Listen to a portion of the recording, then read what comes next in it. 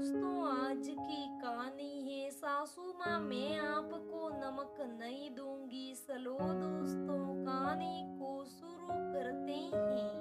सपना, अरे ओ सपना, का है तू? जरा नमक तो लाना, जैसे ही सासू माँ की आवाज़ सपना के कानों तक पहुँची, जल्दी से सपना नमक की डिबिया उठा, तेज कदम सलती।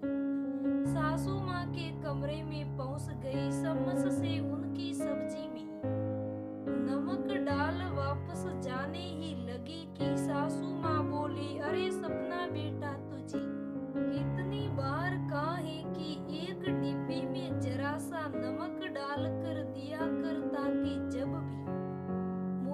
ज़रूरत पड़े मैं खुद ही ले लूँगी। बार बार तुझे आवाज़ लगाकर बुलाना मुझे भी।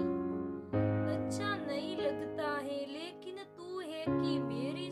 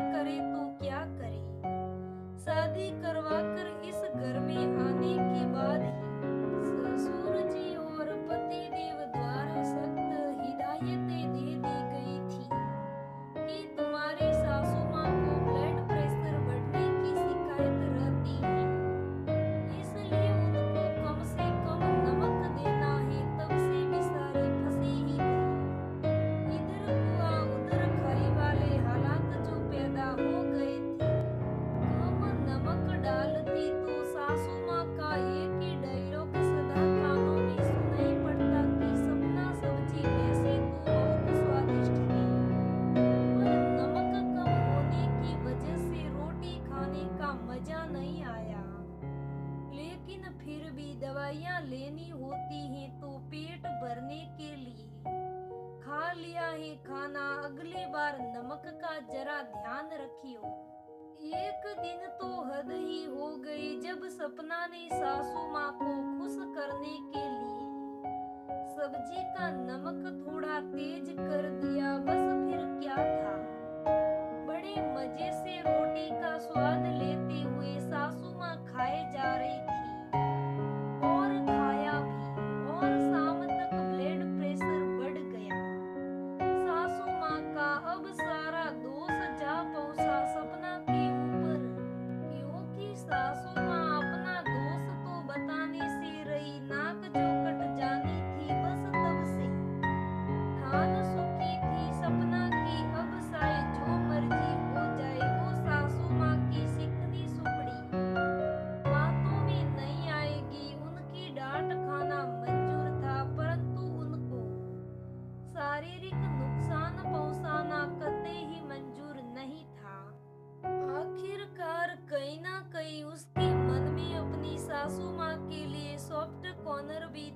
भले ही नमक के बाने ही।